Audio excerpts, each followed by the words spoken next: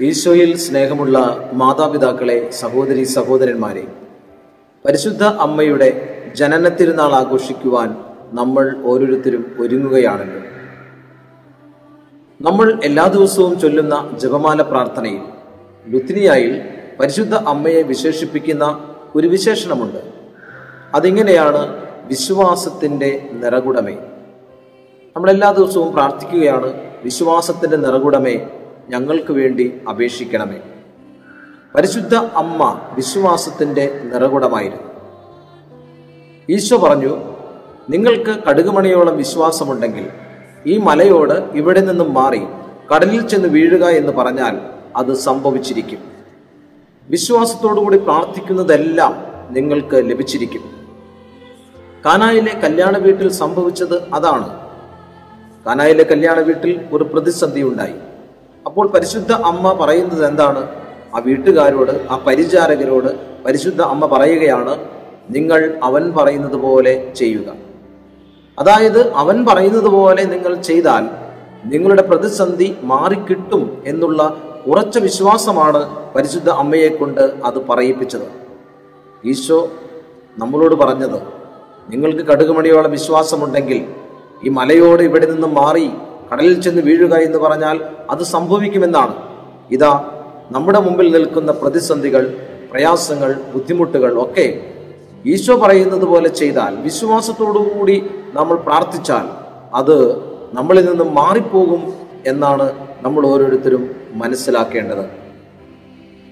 പരിശുദ്ധ അമ്മയുടെ മാധ്യസ്ഥം നമ്മുടെ ഓരോരുത്തരുടെയും കുടുംബങ്ങളിൽ ധാരാളമായിട്ടുണ്ടാകണം പരിശുദ്ധ അമ്മയ്ക്കുണ്ടായിരുന്ന വിശ്വാസം അതിന്റെ നിറവ് നമ്മളിൽ ഓരോരുത്തരിലും ധാരാളമായിട്ട് ഉണ്ടാകണം. A bird sitting on a tree is never afraid of the branch breaking because her trust is not on the branches but on its wings a bird sitting on a tree is never afraid of the branch breaking because her trust is not on the branches but on its wings ഒരു പക്ഷി മരക്കൊമ്പിലിരിക്കുമ്പോൾ ആ പക്ഷി ചിന്തിക്കുന്നില്ല ഈ മരക്കൊമ്പ് ഒടിഞ്ഞു വീണാൽ എന്ത് സംഭവിക്കും? ഈ മരം തന്നെ മറഞ്ഞു വീണാൽ എന്ത് സംഭവിക്കും? എന്നൊന്നും പക്ഷി ചിന്തിക്കുകയില്ല. കാരണം പക്ഷി വിശ്വസിക്കുന്നത് പക്ഷിയുടെ ചിറകുകളിലാണ്. ഇതുപോലെ തന്നെയാണ് നമ്മുടെ വിശ്വാസമാണ് നമ്മുടെ ചിറകുകൾ. ആ വിശ്വാസമാകുന്ന ചിറകുകൾ നമുക്കുണ്ടെങ്കിൽ നമ്മൾ ഒന്നിനെയും ഭയപ്പെടേണ്ടതില്ല. യശയ പ്രവാചകന്റെ പുസ്തകം നാൽപ്പതാം അധ്യായം മുപ്പത്തൊന്നാം വാക്യത്തിൽ നമ്മൾ ഇങ്ങനെ വായിക്കുന്നുണ്ട്. ദൈവത്തിൽ ആശ്രയിക്കുന്നവർ വീണ്ടും ശക്തി പ്രാപിക്കും. അവർ കഴുകന്മാരെ പോലെ ചിറകടിച്ചുയരും. അവർ ഓടിയാലും ക്ഷീണിക്കുകയില്ല നടന്നാലും തളരുകയില്ല.